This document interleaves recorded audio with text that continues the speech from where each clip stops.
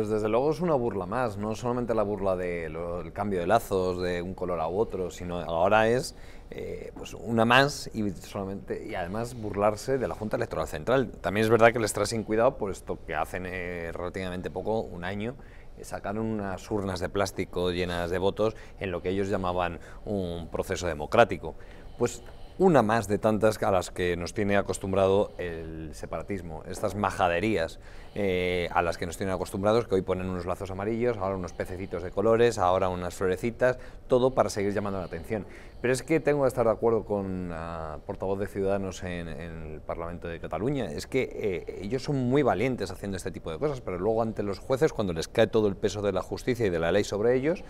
pues como oíamos al señor Uriol Junqueras, que decía que él amaba España, es decir, eh, la ley, gracias a Dios, está por encima de cualquier otra tropelía y en este sentido lo que hay que hacer es cumplirla y hacerla cumplir. Es verdad que ellos se valen de, bueno, pues que la ley para cumplirse muchas veces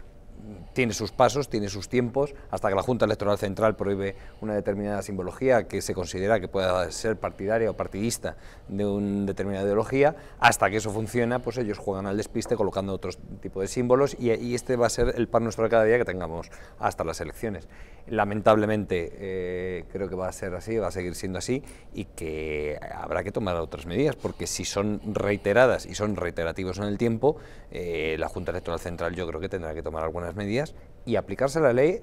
en el punto en el que esta gente deje de hacer cosas que no